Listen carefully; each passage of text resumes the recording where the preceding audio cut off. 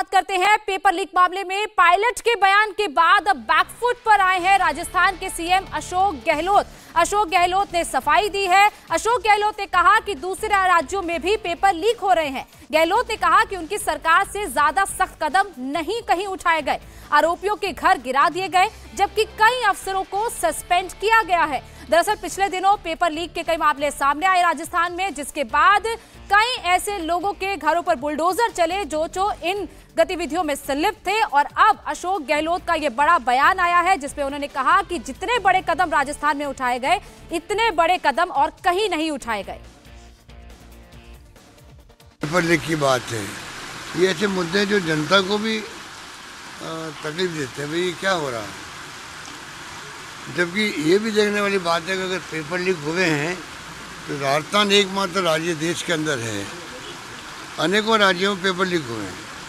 तो यहाँ हमने पेपर लीक कैसे हुआ, किसने किए, उन तक हम पहुँचे हैं। कई अधिकारियों को हमने डिसमिस कर दिया। क्यों? को हम लोगों ने उनके मकान वकान के बुलडोजर चला दिए, कानून पास कर दिया। जो कड़े कदम हमने उठाए हैं और जो बच्चे थे उनको डिबार कर दिया एग्ज़ाम देने से भविष्य के अंदर। तो इतने कड़े कदम हिंदुस्तान में कहीं नहीं उठाए गए ये भी देखना पड़ेगा। सरकार और क्या कर सकती है? ये तो कर सकती है। सरकार नौकरियाँ दे रही तीन लाख से ज़्यादा। नेता कहते हैं कि दलालों पे नहीं सरगनाओं पे कार्रवाई करो कई किसान सम्मेलन भी वो सरगना ही है। वो सरगना ही है जिनके ऊपर कार्रवाई करी है। और वो नाम बता देंगे, हमें नेता लोग तो हम उनके ऊपर भी कार्रवाई कर देंगे। हम तो हमारे कुल,